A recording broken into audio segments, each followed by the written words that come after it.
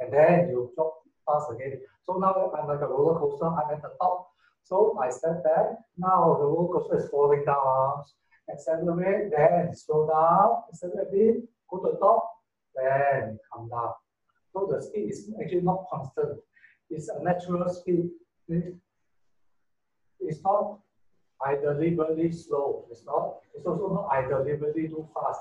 You have to feel the accept a change in velocity. That means when you step this way, you place down, you shift, and then you relax and drop. So when you drop, you should feel this gravity help your palm go down. See this? So if I relax, this is what I will feel.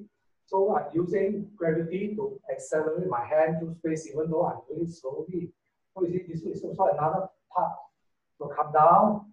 And once it goes to the bottom, you accelerate a little bit before slowing down and then reach the top and then dropping down again. So the feeling is go, go, go, accelerate slowly, slow down, slow down, slow down, stop, then drop again.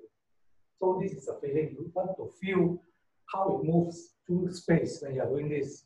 Then you will have natural power next time. Before you even train muscle or anything, your body is very capable of such power. So you need to do a lot of feeling exercise.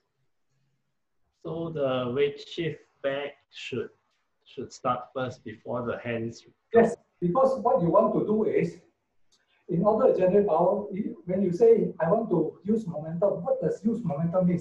Does it mean this, or does it really mean put a base in, and shift my axis over? So now see I can do this, and when I shift shift back, I and my axis shifting over, and I leave this leg behind.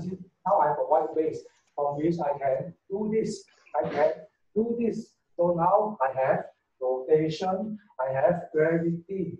So when I go, you see, I can just swing, swing nicely.